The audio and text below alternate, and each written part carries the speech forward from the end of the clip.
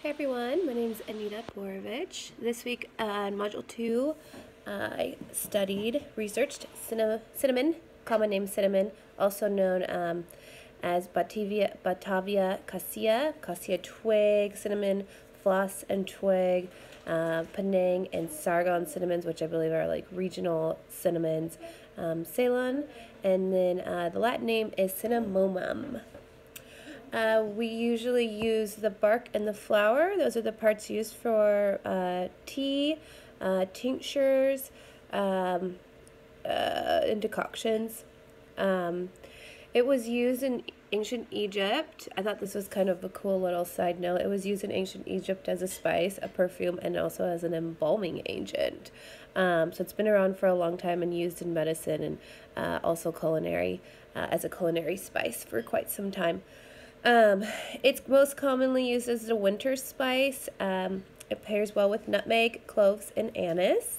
Uh, we use the essential oil uh, for its mood lifting uh, benefits.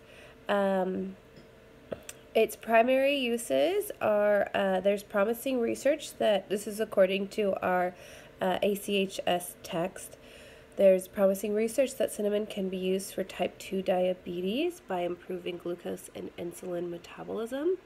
Um, can also be used for flatulence, uh, muscle, uh, GI spasms, preventing nausea and vomiting, diarrhea, infections, the common cold, loss of appetite, impotence, um, rheumatic conditions, um, testicle hernias, uh, menopausal systems, amenorrhea, and as an abortifacient. Uh, abortifacient.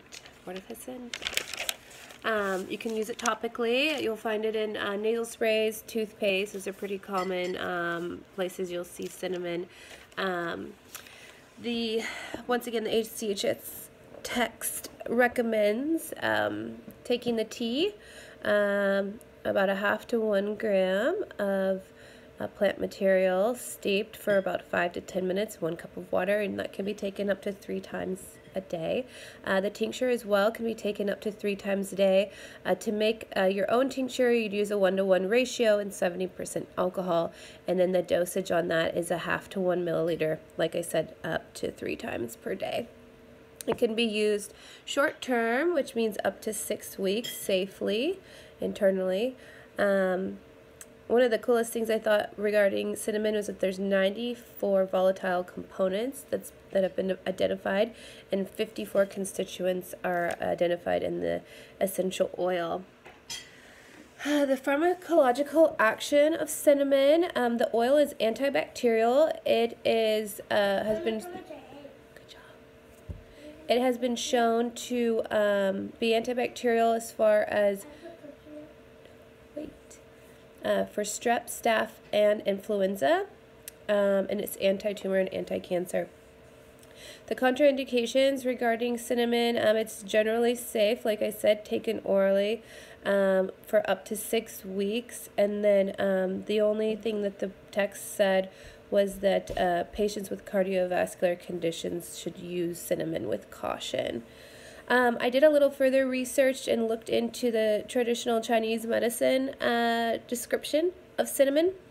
Um, according to TCM, it's spicy, sweet, and warming. It can penetrate the heart, lung, bladder, uh, meridian channels, can act as an early intervention against wind cold conditions. Uh, it can immobilize the body's own immune response called lifting, um, and it can unblock uh, yang qi. And then also it says that it can aid in weak digestion. So there's my little tidbit on cinnamon. Um, it was really interesting. Obviously, it's common spice people use, but um, to get a little bit more in depth regarding uh, its medicinal benefits was uh, was good for me. I really enjoyed it. I actually wanted to show you. I use this vi um, Vietnamese cinnamon. Um, it has the 5% oil. I use this on like Fage, the, the high fat, 5% milk fat yogurt. I'll sprinkle a little bit of this on there, but usually with like some orange slices and a little bit of honey. It's super delicious. This I think has a higher oil percentage. It's absolutely great, great product. And then also I use this essential oil. Um, it's called Purify, but it's um, you can definitely tell it has cinnamon in it when it's uh, run running in the diffuser. Um, yeah, it is a blend of clove, lemon, cinnamon, eucalyptus, rosemary, lemongrass, and myrtle oils. It's really nice and warming. It, it smells really great.